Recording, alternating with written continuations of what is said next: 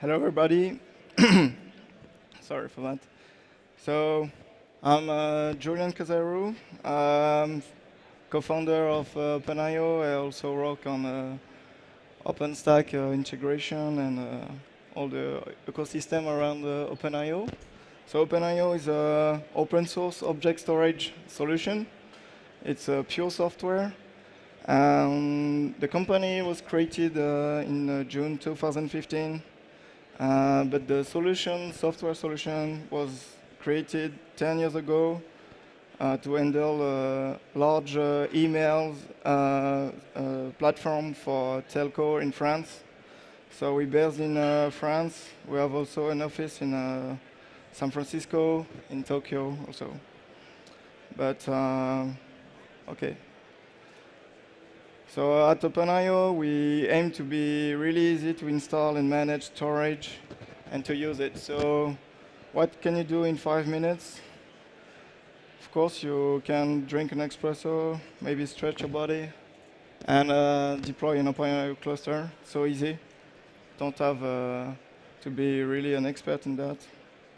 So everything we do at OpenIO is to bring massive storage, massive scale storage to your data center and uh, to be and uh, to be easy. So what about the um, compute and storage uh, dilemma that uh, we all face when we have lot of uh, compute and storage resources?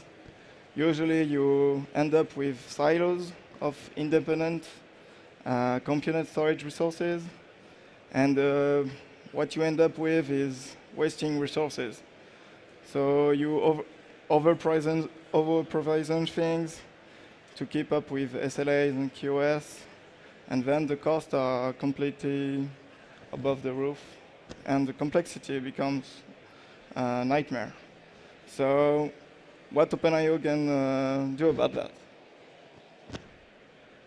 The idea of OpenIO is that it's pure software. You install it on uh, commodity hardware, so any regular uh, Linux server you, you can find.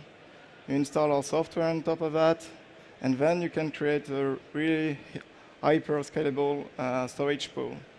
Um, you choose your hardware, which is really great because if you have old hardware, you can break it into the pool and mix hardware together. We know how to handle uh, such case. It's really easy to start your cluster this way. So what OpenIO can do about, about, about it and um, how we do it. So to store, um, OpenIO really handles really large scalable storage. You can have literally billions of objects in a single cluster and um, thousands of uh, petabytes of data. It's uh, really easy to, to retain such, uh, such numbers. Um, there's a very simple shared nothing architecture. Just bring independent servers into the pool and you can build a limitless um, storage pool out of uh, regular uh, standard servers. All the metadata is um, distributed by uh, nature, and it's really easy to have millions of containers, as in Amazon S3 buckets, very similar, and you have billions of objects uh, storing on top of that.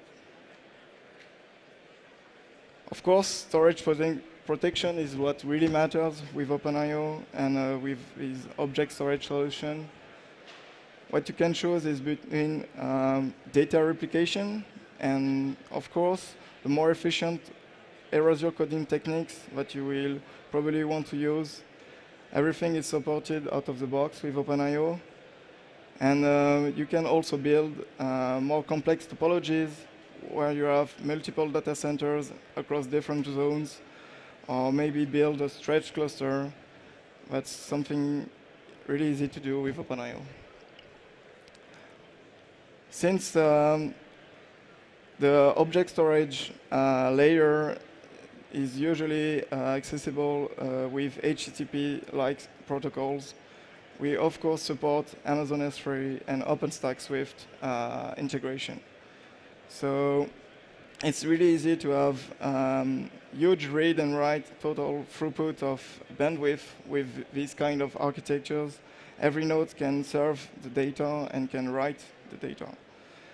We also provide uh, file sharing protocols on top of OpenIO. You can use it with NFS, for example, and it stores on the same grid. And processing. This is what uh, OpenIO does a bit differently than the others. What we want to do is, uh, if you have a large pool of servers like that, you usually end up uh, wasting RAM of CPU because the storage software doesn't really use it. So what we propose is you, you can run applications on top of the, the cluster, and you are more you are closer to the where the data is and where your software uh, will uh, interact with it. So it's really a simple uh, architecture, and of course you reduce the cost because you don't have to buy any more servers uh, after, uh, on the side to handle your workload.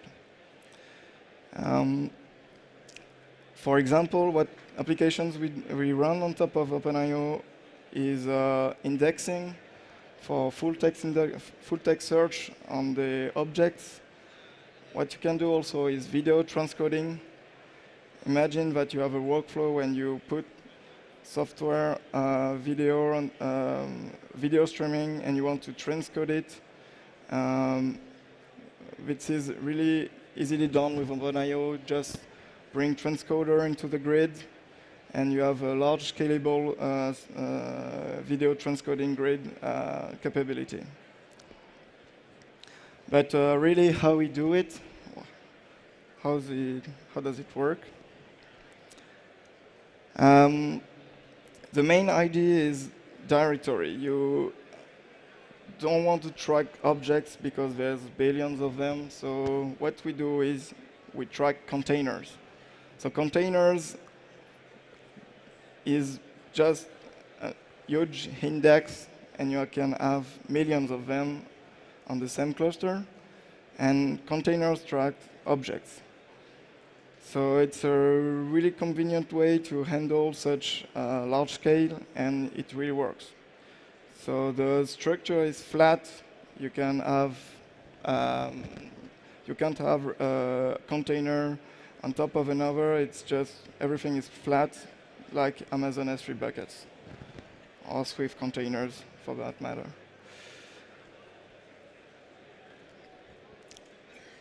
This is uh, really what uh, makes it uh, different than Swift, for example, or Ceph, you know. They usually end up with consistent hashing techniques or some uh, variations of it. Well, the idea of um, OpenIO is that you should not rebalance data when you grow the cluster. It's uh, really not um, good stuff to do in production because you end up wasting time moving data around and you can't really use your new hardware uh, on the go. So what we do at OpenIO is that when you add new nodes, they're automatically discovered and they are immediately available. And uh, there's no static data placement, no uh, ring or anything.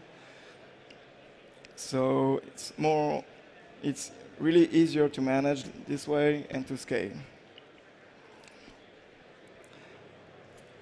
For the storage pool, how we choose where to put the data since it's not consistent based or uh, uh, based on the static uh, data placement.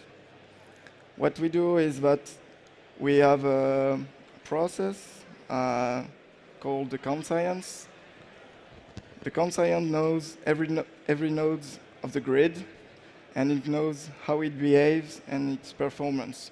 So we call it, every time we have the opportunity to do so, metrics, Um, we compute a score with that, and we distribute it to all the clients and all the nodes into the of the grid. That can make us uh, do uh, dynamic load balancing. So when you put the data, you really want to do uh, to be sure that the node you're contacting is up, that is has good uh, performance, anything like that. So um, how do we compare to other kind of data center platforms uh, regarding uh, storage? Um, of course, we are hardware agnostic, and most open source software are. Um, we don't rely on any um, appliance. It's, you can really choose your hardware. It's open source, so really the TCO is pretty low, and we have a low um, cost per gigabyte per month kind of model. So it's really easy to start with OpenIO. Actually, you can start right now. You don't have a license to, to get. What we provide at OpenIO is uh, licensing. Uh, for uh, is not licensing, but it's support. Sorry. Compared to hyper-converged platforms, OpenIO really scales at web scale, like billions of objects and petabytes of data. So what about the use case? What can we do with OpenIO? Um, OpenIO started with uh, email and as an email storage uh, software solution. So it can really handle email workloads very well. We have integrations with various um, email uh, servers, such as uh, Cyrus, uh, IMAP, or uh, Zimbra. You can use OpenIO with a brand range of uh, other use cases, such as uh, media content processing, so for videos, or for data archiving. OpenIO made uh, OpenStack uh, integration. We provide uh, Swift integration, and um, so it's uh, it, it, relies on the Swift proxy. So we use the, the Swift proxy from OpenStack, and uh, we integrate the, our native Python API uh, into the Swift proxy. So it's not based on the driver on the object server side. Uh, you don't need any object servers or any account servers or any container servers from Swift. It's really just the Swift proxy.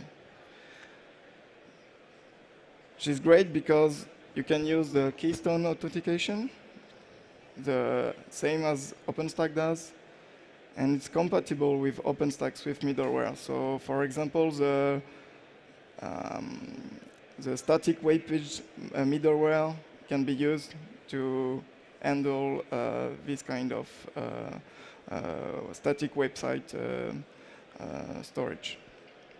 And of course, it's open source. It's on GitHub. You can check it out. And recently, OpenStack became a corporate member of the OpenStack um, Foundation. So really, really, really happy to be part of the OpenStack uh, family. We are really young in the family, but we are actively working on, of course, the object storage side, but we are also focusing on the uh, file, uh, uh file uh, system, shared file uh, um, integration of Manila. So Manila is something we are really looking into. And what about latest things we did with OpenIO? So we released our new software. It's aligned uh, with OpenStack Summit in Austin. So 1604, 1604 brings NFS. We bring also HTTP gateway for video streaming can uh, stream videos uh, right from the uh, cluster. We also have support for ARM, and you can run a cluster uh, on Raspberry Pi, uh, which is a really small computer. So you can have 10 nodes of OpenIO running uh, object storage like that. We also uh, provide uh, packages for all the main distributions out there, Linux distribution. And recently, OpenIO uh, became a member of the Open Kinetic, uh, the Kinetic Open Storage project. We member of the Linux Foundation, and we're really excited to be part of this uh, Kinetic group. Uh, we think that it can really change the way we handle uh, storage today and how you build uh, massive uh, storage uh, platforms. So thank you very much for your attention. Come visit us at A16 booth. It's right over there. And uh, that's it.